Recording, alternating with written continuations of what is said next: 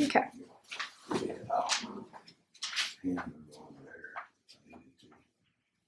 Thank you all for coming, by the way. Absolutely. Yeah.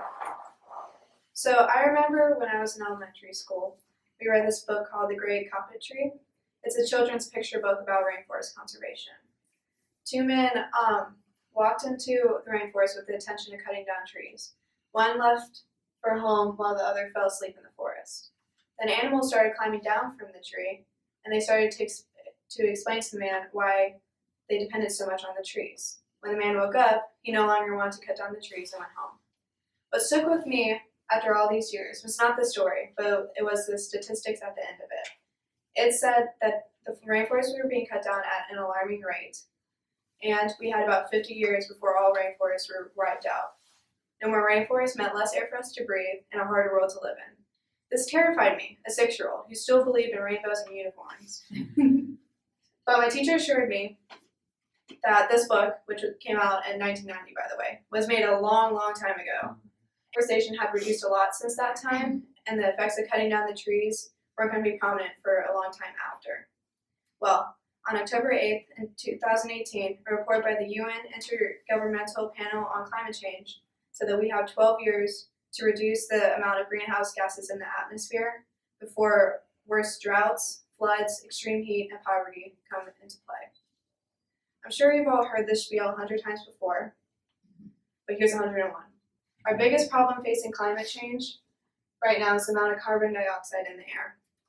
Um, too much carbon dioxide is causing the greenhouse effect. Large amounts of CO2 particles in the air creates a cover that keeps the sun's heat energy in the atmospheric bubble that surrounds the Earth.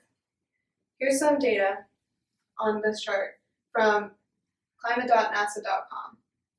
It shows the CO2 or the car- carbon dioxide level has not been over 300 million CO2 particles in the last 400,000 years, but in 1950 was the first time it went over. We are currently at 400 million particles. Re- the only way to reduce this is by recycling. Recycling helps reduce pollution caused by landfill sites, which release harmful chemicals and greenhouse gases. Here are some statistics from greenlivinglovetoknow.com. 21% of the landfill sites is food, 14% paper, 10% rubber, leather, and textiles, and 18% are plastic, all of which can be recycled. For my first years at River Bluff, we had re- recycling, but this year I came to learn that we now only have two recycling bins in the entire school.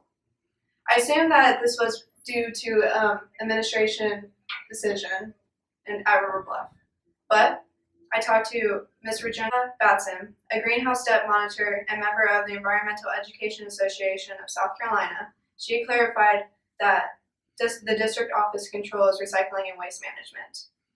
And the reason why we no longer have recycling is because they did not renew their contract with the recycling vendor because they no longer thought it was a priority.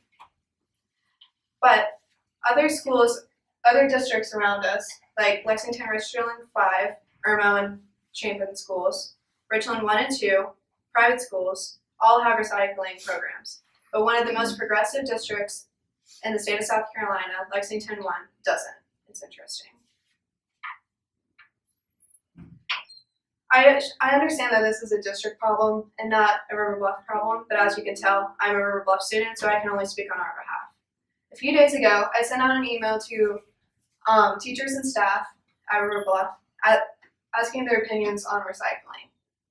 Those that replied said that 91% believe recycling is important, 92% believe it is important for students to recycle, and 88% want recycling back at River Bluff.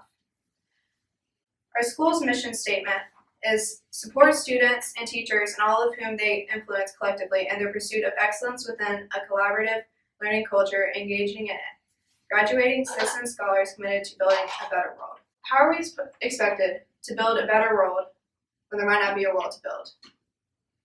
We learn in crew, we learn our school's core values, which are excellence, growth mindset, personal responsibility.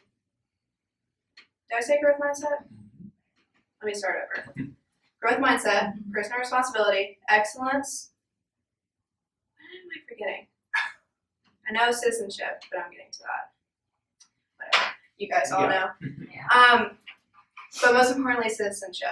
And while doing service or housing scholarship evidence logs, a big point that students put for citizenship is LNTing or leave no trace. They'll say, "Oh, I picked up trash and threw it away." It's almost comedical how much they use that as an example. Even our next crew project for juniors is making outfits out of recycled goods. So why does our school focus so much on community and recycling and not have a recycling program? High school teaches us a lot of good habits like organization, time management, amongst other things. So why not make recycling one of those habits? Having an option for students to recycle in class creates and having teachers remind them creates a habit that not only withstands the classroom but into their everyday lives. I think the CMA EcoCycle Australia's most experienced mercury and recovery and recycling company said it best. Whether it's batteries or bottles, paper cans or school recycling programs demonstrate the power of multiplication. They show that when many people combine their small actions, big things are accomplished. Nice.